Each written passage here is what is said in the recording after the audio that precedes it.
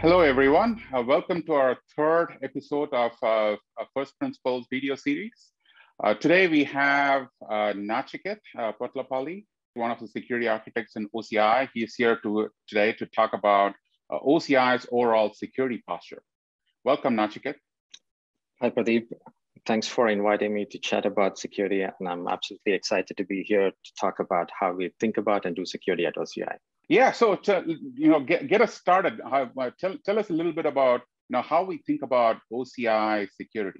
As you know, being one of the early key architects of OCI, security uh, has been a fundamental design principle for OCI. We've been thinking about security since day zero. And the way we built OCI was to enable our customers to run their most mission critical workloads with sensitive data on OCI. But then we took on another challenge too, which is we want the customers to be able to run the mission critical workloads without having to become security subject matter experts. And let me use an analogy to explain how we did this. If you think about it, cloud security is a vast topic covering a lot of issues. Uh, an analogy we can use is, a, is an iceberg. So the visible part you see on the top are the security services and features we offer to the customer. And underneath the covers, we have a whole slew of activities we do, whether it's security operations or incident response or infrastructure compliance, operator access, and so on, which are not visible to the customer, but essentially when customers are thinking about security of their workloads, they're thinking about the security of the whole iceberg. So if we look at the visible part, the way we are enabling customers to securely run their workloads uh, without having to worry about 100 different security knobs to configure and achieve the desired security posture is by offering simple and prescriptive security services. That's been one of the fundamental design tenets in our security services is how do we make it easy and prescriptive for customers to just get the security posture they need?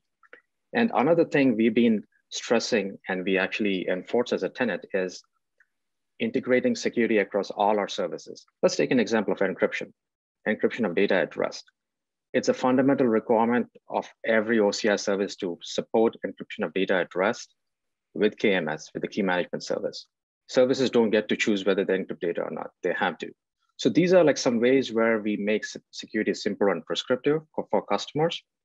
And now if you go to the part under the covers, the part which is not visible to the customers, we are continuously making investments in this on raising the security bar of our infrastructure. And all the investments are guided by two fundamental security principles. The first is defense in depth, which is continuously integrating security controls in all layers of the infrastructure stack, like that, uh, whether it's physical security or whether it's OS security or hypervisor security and so on. And the second principle is blast radius reduction. And all of us have done security at scale. And one of the things we have learned over years is security issues do happen, but the main thing is how do we contain them the smallest area possible. And that's essentially blast radius reduction. So this is how we actually think about and do security at OCI. And, and again, as I said, one of the main design goals we want to enable is customers should not only be able to run the mission critical workloads in OCI, but they do not require to become security subject matter experts. experts. Awesome. Hey, so we talk about, you know, the Gen 1 cloud, Gen 2 cloud, and we essentially are, you know, one of the Gen 2 clouds and our security posture is different. Can you give some examples of where we are concretely different? Absolutely. So uh, let me just set a bit of a context on the Gen 1 versus Gen 2, and I'll, I'll get, get to the specifics of the answer. So traditionally, the Gen 1 clouds have been built with the hypervisor architecture in mind. Since we all know that hypervisors are extremely good at virtualizing server resources and managing VMs, whether it's kicking up VMs, stopping VMs, resuming VMs, and so on. But when you operate a cloud, there are also a whole slew of control plane operations which need to do a lot of behind the scenes management. And in Gen 1 Cloud, a design decision was made to integrate all this privileged control plane functionality into the hypervisor. As from an implementation perspective, it's an easy choice. But from a security perspective, this is not such a good option. And, and, the, and why is that? It goes back to the blast radius I just talked about in the previous in the previous answer, which is any security issue in the hypervisor now not only impacts the VMs on that host, but an attacker could potentially impact VMs running on other hosts or even pivot into the control plane and do a lot more damage. So when we looked at that, it was an unacceptable design choice for us. We wanted to do something better for our customers. And the way we uh, answered that question is by taking the control plane functionality completely out of the hypervisor and run it separately on a separate processor, a, which we call as box virtualization hardware. And the immediate security benefit of this was, again, highly reducing the blast radius. Now we are back to a good place where if there's a security issue in the hypervisor, it impacts only the VMs on that host and nothing else. And this is one of the fundamental ways in which we architected OCI. And essentially, again, as you being one of the key architects, you know that one of the fundamental design principles we used was the bare metal architecture. How do we run bare metal instances in OCI? And our answer to do to doing that was deprivilege the hypervisor, run all the control plane code in a privileged uh, hardware, which is off-box virtualization. And this forms like the core, um, what should I say, building block of security in, in OCI. And this is how our Gen 2 security differs from uh, stat, status quo Gen 1 security. Got it. So you're essentially saying, you know, in the Gen 2, we essentially ignore the hypervisor as the main security construct, if you will. Uh, we don't exactly. trust that anymore. We essentially move the trust boundary outside. And yep. you know that essentially enables us to do bare metal, but it, it fundamentally improves the security posture for all our compute infrastructure, including VMs. Is that what I heard? Exactly. Exactly. Yes. Yeah. So uh, tell, tell me a little bit more about you know how do we enable bare metal uh, instances in, in OCI? Absolutely. So so there's one more piece of this puzzle which I didn't mention, which is root of trust hardware. So, so these are two things which we are going to talk in this chat today. One is the security benefits of off-box virtualization, and then more importantly, the root of trust hardware. So let's go back to the bare metal architecture. Means our customers were absolutely delighted with this, right? When we offered bare metal instances where there's no Oracle managed code, customers get the complete physical server on which they have flexibility to run any application they want, install any OS or hypervisor they want, and even to firmware. Means we've had cases where customers came and said, I need to be able to run some specific version of firmware on my SSD or a specific version of uh, like do firmware settings for SRIOV on the NIC. So we had all these requirements. And when we offered bare metal instances, obviously customers were beyond delighted. But the thing is, from a security perspective, we also had to think about what are the security risks of this bare metal architecture. And one of the things which came up was firmware security means there's a lot of firmware in any server, whether it's the BIOS, where it's firmware running on the NIC, firmware running in the GPU, firmware running in uh, the SSD drives. All this firmware can be subverted if they are under the complete control of the customer, especially a malicious one. So we had to think about how do we offer this bare metal architecture, but at the same time, make sure we raise the bar on firmware security.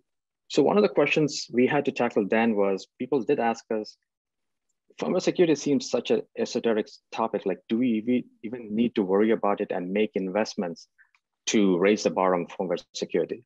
And again, we took a long, long view on this one. Our whole idea was we need to look beyond the corner and see what security issues are emerging and be and make design choices to address them.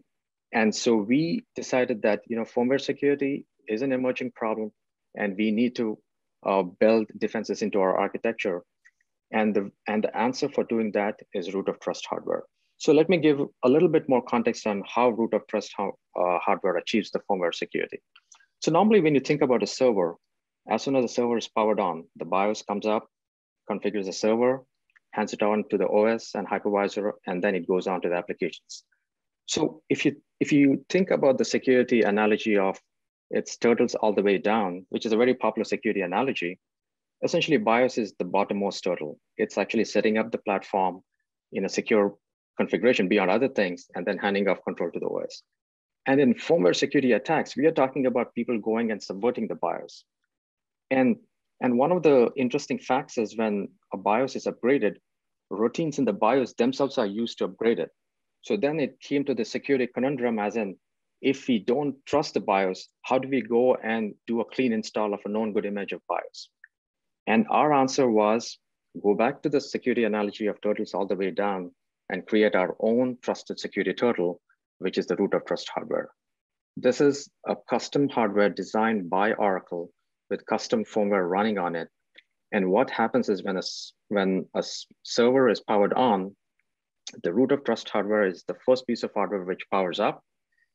And the root of trust hardware installs a known good image of the ILOM or BMC firmware, and which in turn installs a known good piece, uh, known good firmware image for the BIOS, and which in turn installs known good firmware images for other components like NIC, um, uh, SSDs, GPU, and so on.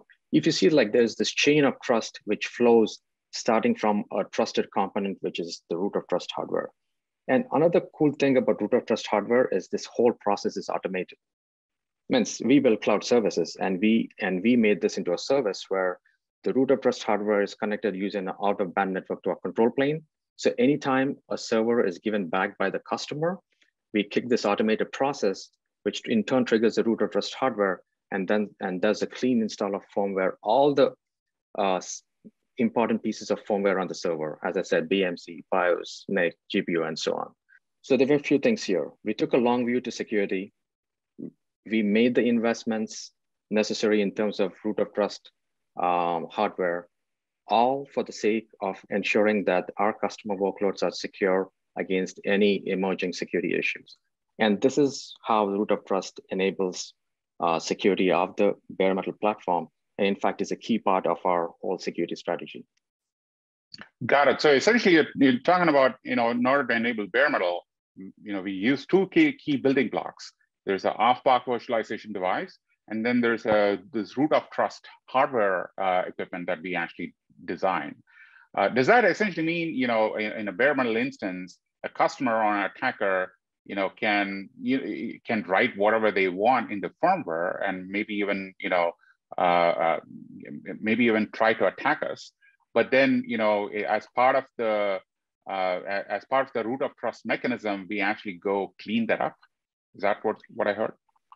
Customers can write anything into the firmware. The root of trust hardware makes sure that it's reliably cleaned up and we install known good images of firmware when the server is given back to us. So now to your other question you mentioned about, hey, what happens when someone writes something, something into the firmware? So the thing is, at this point, this issue impacts bare metal instances, which are single tenant. So it's essentially limited to the, so the customer is responsible for the actions they are doing on the bare metal. So it impacts only the customer. And in fact, if you think about our infrastructure, and again, as I said, if you go back to the iceberg analogy, there are a lot of other components. So we have a big security monitoring component in our control plane. And if ever we see any anomalous indicators, then we can take corrective action. So, so, so that's how we, again, manage the security risk of something happening in the root of trust hardware, which could potentially impact us. So I just want to keep make that clean. So two, two things, bare metal instances are single tenant. So customers are responsible for actions which happen on the bare metal instances. And to your question, is there any impact on us if like firmware malware impacts a bare metal customer? We have a whole set of other compensating security controls to monitor and remediate anything along those lines. So it doesn't impact Got us. It. Got it. So this whole firmware attack, you know, is that actually real? Is have you actually seen that in real world? Yeah, that's a great question, Pradeep. And in fact, we've got that question from a lot of like people. So in fact, in 2019, there was there was this firm, there's a firm called Eclypsium in in United States. And in fact, Eclypsium was started by people I used to work with at Intel, and they specialize in firmware exploits. And they demonstrated an exploit in 2019 where they were actually, I won't name the cloud provider, but they were able to get a server from a cloud provider, implant a firmware malware, give the server back to the cloud provider, get it back again, and then show that existence of their malware. And when this thing uh, issue came up in 2019 um, by Eclypsium, we all we could say was, hey, this issue does not impact because we foresaw issues like this and then took care of them using, you know, security mechanisms, and it didn't impact us. So to answer your question, yes, firmware attacks are real. We have seen them in practice. People have demonstrated them against cloud providers, and we are immune against those because of this root of trust hardware. Got it. So essentially, we have, you know, there have been attacks or demonstrations of attacks, if you will, against cloud providers to be noted, not Oracle, some other cloud providers where, you know, in their bare metal compute instances, they've been able to install, you know, uh, persistent threats using firmware persistence. Is that correct? Yes, exactly. Yeah. Cool. Well, that that's good to know. Good, good to know that Oracle and OCI, we don't have that issue on our bare metal instances. So overall, you know, it looks like, you know, we, we essentially took a fundamentally different approach to security. And, you know, some of the examples where, you know, the way we approached our virtualization, where we fundamentally did not want to, you know, rely on hypervisors uh, for the core of a security, we essentially moved all of that to an off-box virtualization device. And, you know, we also, you know, moved the root of trust for actually erasing or securing our compute instance to a off, you know, off-box device, which is a custom hardware that we design. Uh, is that essentially a good summary? Yeah, I think I think that I think you put it well. So the things I would just highlight uh, is, so I want to emphasize the long view to security we took. So when we were thinking about this, so we could have taken an easy route and made decisions which were easy with respect to implementation. But we took a long view to security and our goal has been, we will do the security lift on behalf of the customers. So customers can run their workloads without having to worry about security too much or become security subject matter experts. And these two um, uh, features we talked about, whether it's root of trust hardware, which is a custom piece of hardware, or the off-box virtualization, which is another piece of hardware with our proprietary code running on it, which is deployed across all the servers in OCI, are two very concrete concrete demonstrations of how we did the heavy lift on behalf of the customers so customers don't need to worry about security. But again, as I said, I would always go back to that analogy of the iceberg.